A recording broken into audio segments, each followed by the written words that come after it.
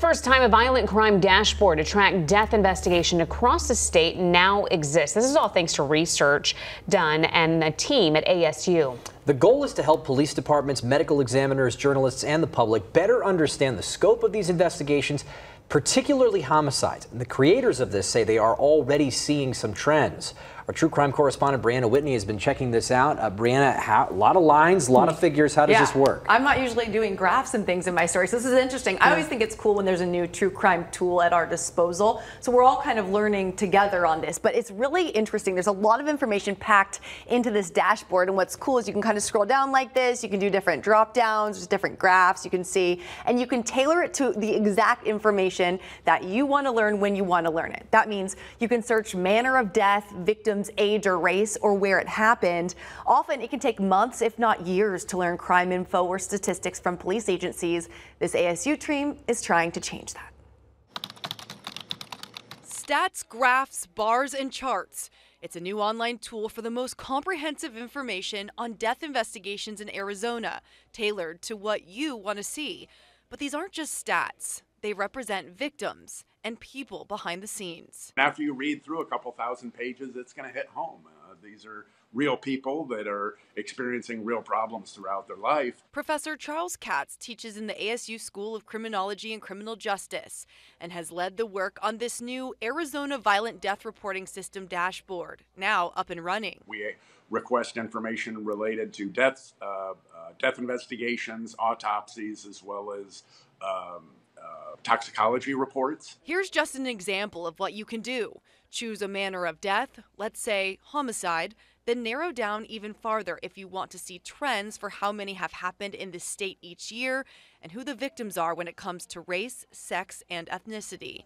Or want to see what homicides have happened in the city or county you live in?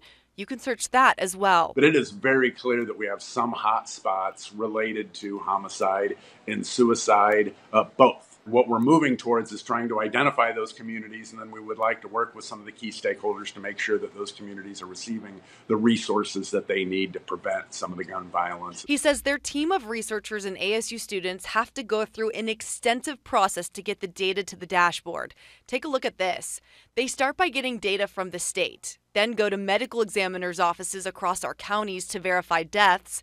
Then take that to police agencies to get case reports and details.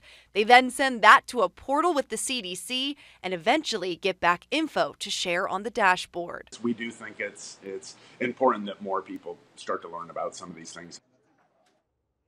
And Professor Katz says right now the info on the dashboard is from 2015 to 2022, but as they continue on with this technology, they hope and plan to have data as close to real time as possible.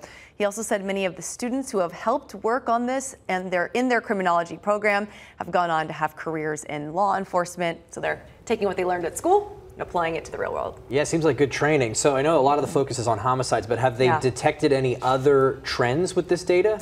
Yeah, so they're looking at it right now, compiling everything. One of the trends that they found in homicides and really any of the death investigations was that the guns that are being used mm-hmm. are more often than not stolen. That's something that they're learning from the police reports. They want to take that, they want to analyze it, and then share it with their stakeholders on how can we do better, provide resources, and make a change there. Mm-hmm. But just in its infancy, that's one trend they have been able to identify.